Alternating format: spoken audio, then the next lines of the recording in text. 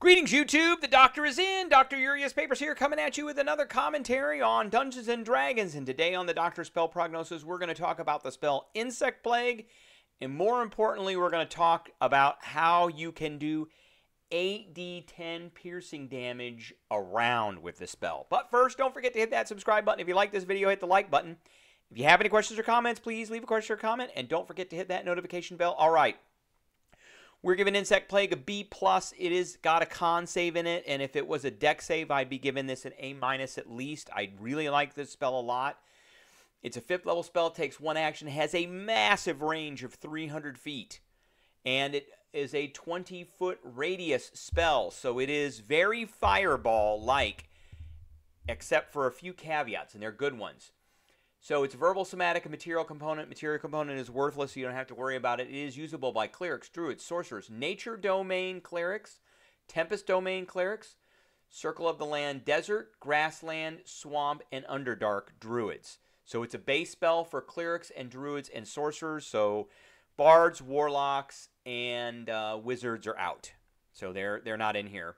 But we're going to talk about something. So this lasts a whopping 10 minutes. Now, just remember that combats usually only last about four rounds on average, so 10 minutes is a really long time. One minute is actually a long time.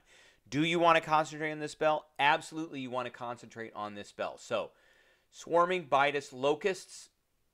I mean, you could probably, for flavor, you know, say whatever you want, but Swarming, biting locusts fill a 20 foot radius sphere centered on a point you choose within range. You know, you could say mosquitoes, horse flies, biting flies, loa loa red flies, uh, any number of nasty, nasty insects. So the sphere spreads around corners. That's good. Uh, the sphere remains for the duration, and the area is lightly obscured. So what does lightly obscured mean? I've already got it here. Lightly obscured means that uh, area, an area such as dim, light, patchy fog, or, a bunch of insects, creatures had disadvantage on perception checks. So that will help your rogue. So here's the first good thing about the spell. If you've got party members or allies that are very dependent on hiding, this makes them hide even easier because the subjects that are inside the plague cloud will have disadvantage on their perception checks. Okay. And this here's the second one. The sphere's area is difficult terrain, which means that they're in the very middle of it. It's going to take a while for them to get out because it's difficult terrain. If you throw plant growth down, they're not getting out. Remember, plant growth is not difficult terrain. It it increases the distance that you travel or the difficulty by four. It is not difficult terrain. It is every foot you move counts four feet, and then this adds onto that, which is five. So if they want to move, if there's plant growth and insect plague uh, at the same time, and they would like to move five feet, that's 25 feet of movement that they have to use. So not going anywhere. It's another great thing about this spell. So when the area appears, each creature in it must make a Constitution saving throw. So that is not not when they begin their turn or when they enter. It's when it appears. Bam, they got to make a con save. A creature takes 4d10 piercing damage on a failed save and half as much on a successful one. I don't like the con save. A lot of creatures are going to be able to get around that. It's piercing damage. Now, it could be argued if this is magic piercing damage because this is a magic spell because it does have a duration. These are not permanent. Uh, insects, they're magic insects. That's up to your DM. Have a discussion with your DM. But if our, if it is magic piercing damage, then that's going to bypass mostly everything that has uh, resistance to piercing. So a creature must also make the saving throw when it enters the spell area for the first time on a turn.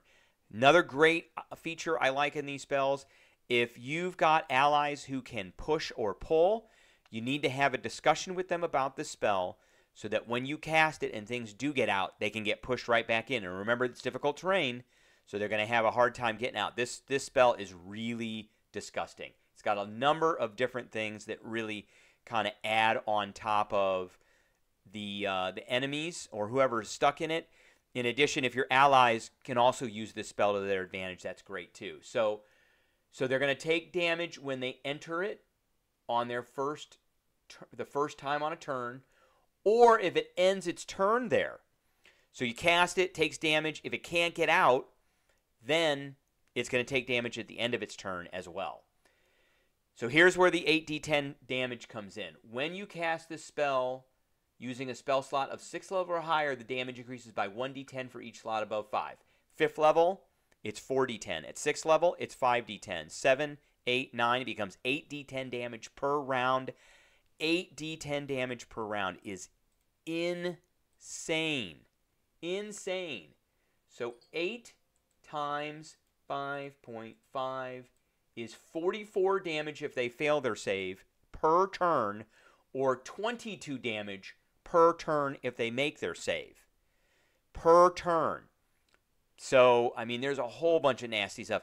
You could have a wizard drop Evard's Black Tentacles in there, which that'll keep them in there. Plant growth, a whole bunch of nasty things that you can do to keep them in here and keep them taking damage every single turn, either when they first enter it, you know, when they enter it uh, the first time each turn, or when they get stuck in it.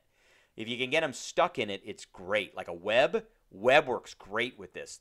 Insects don't really care about the web, and they're just going to bite whatever is restrained in it. So, all right, that's what I got for everybody today. I appreciate everybody tuning in, and I will catch everybody later.